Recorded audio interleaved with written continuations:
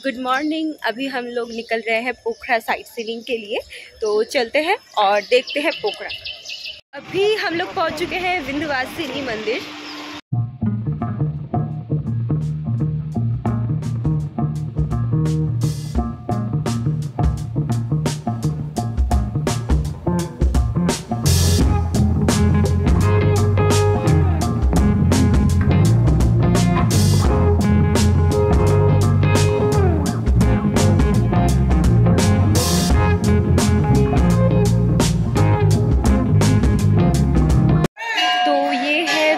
विंध्यवासिनी मंदिर, हमने बहुत जल्दी जल्दी में दर्शन किए विंध्यवासिनी मंदिर के और अभी हम हमारे बस की तरफ़ जा रहे हैं और अगला स्पॉट जाएँगे।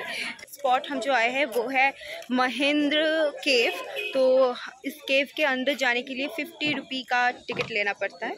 तो हम अंदर जाके आपको फिर दिखाते हैं। केव के बाहर एक पार्क बना हुआ है घूमने के लिए और बच्चों के लिए भी एक पार्क है जहाँ पे बच्चे खेल सकते हैं और ये केव बिल्कुल भी नेचुरल हम अभी अंदर जा रहे हैं।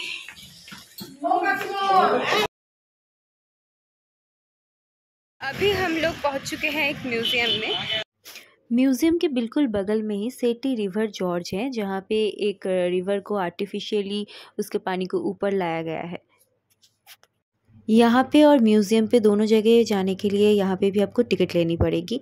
और यहाँ पे आप लोग नेपाली गेटअप में तैयार भी होके फ़ोटो भी क्लिक कर सकते हैं।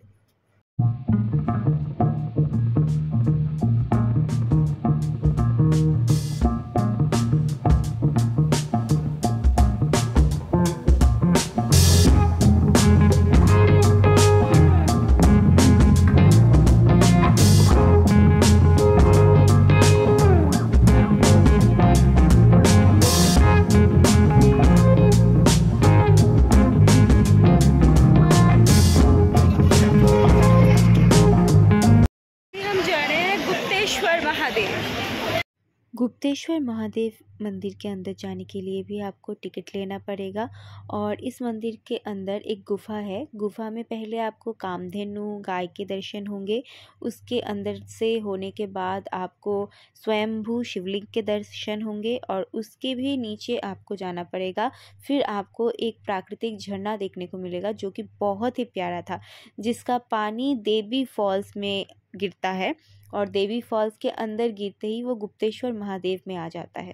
तो दोनों जगह आपको बाहर से और अंदर से हम अभी आए हैं गुप्तेश्वर महादेव में और यहाँ पे एकदम नीचे जो देवी फॉल्स का झरना है, वो यहाँ से होके जाता है। मैं आपको वीडियोस में फ़ोटोज़ में नहीं दिखा सकती, जो मैं अभी आँखों से देख रही हूँ।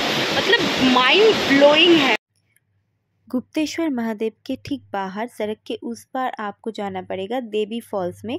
यहाँ भी टिकट लगता है और यहाँ पे जाने के बाद आपको ये झरना देखने को मिलेगा, जो कि गुप्तेश्वर महादेव जाता है। मेरे पीछे वहाँ से आप देख सकते हैं देवी फॉल्स का झरना और वही पानी गुप्तेश्वर महादेव के अंदर जा रहा है, जो मैंने देखा, लेकिन ठीक से कैमरा में कैप्चर नहीं हुआ, इसलिए आप लोगों को नहीं दिखा पाई।